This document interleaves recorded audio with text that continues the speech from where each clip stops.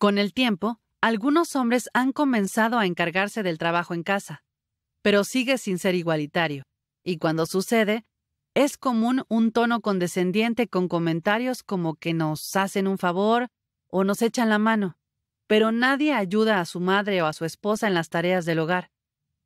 Si tu pareja dice, yo te ayudo con los platos, hay que aclararle que no es ayuda.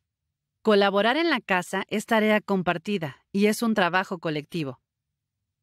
Un ejemplo ilustrativo es una investigación dirigida por Frank Stafford, un economista de la Universidad de Michigan, en la que, al estudiar los datos de familias estadounidenses de matrimonios heterosexuales durante 2005, resaltó un patrón. El vivir con un hombre equivale a siete horas de trabajo extra para la mujer, mientras que para los hombres, una esposa les aligera la carga de trabajo. Además, la situación empeora cuando tienen hijos. Una mujer casada con tres hijos para ese entonces realizaría 28 horas de trabajo doméstico a la semana, comparado con 10 horas que realizaría el esposo. Si consideramos que este estudio se realizó en Estados Unidos hace más de una década, ¿qué tanto se parecen las cosas en nuestros países y nuestras casas ahora? En México, las mujeres en 2009 destinaron en promedio 39 horas a la semana al trabajo no remunerado de cuidados, mientras que los hombres poco menos de 12 horas a la semana, con datos del INEGI 2009.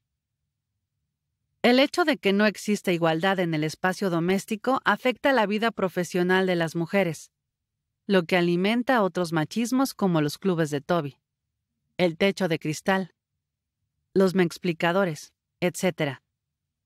Por otro lado, en las carreras profesionales muchas mujeres enfrentan otro tipo de desigualdad la falta de espacios y prestaciones de las universidades, donde nos formamos para la vida laboral, o en los empleos para poder llevar la maternidad o la paternidad.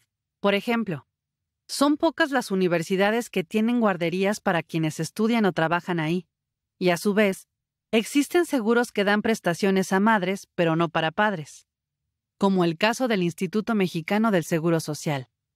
De modo que este tipo de discriminación aparentemente contra los hombres afecta también a las mujeres. En las normas se relega el trabajo de cuidados a nosotras, reforzando los estereotipos de género. Por otro lado, se preocupan por la inclusión de las mujeres en la academia, pero nos culpan si optamos por la maternidad y no elegir nuestra carrera, mientras no se les exige lo mismo a los hombres que son padres. ¿Quién realiza el trabajo doméstico y de cuidados en la casa de los señores exitosos profesionalmente? ¿Quién cuida a sus bebés? ¿Quién les plancha la ropa? Ejemplo. Hombres que se declaran incompetentes para realizar las labores domésticas, como argumento para deslindarse de la responsabilidad que implica compartir una casa. Lo que Luis Bonino llama impericias selectivas como si las mujeres tuvieran información de cómo limpiar un baño en sus neuronas.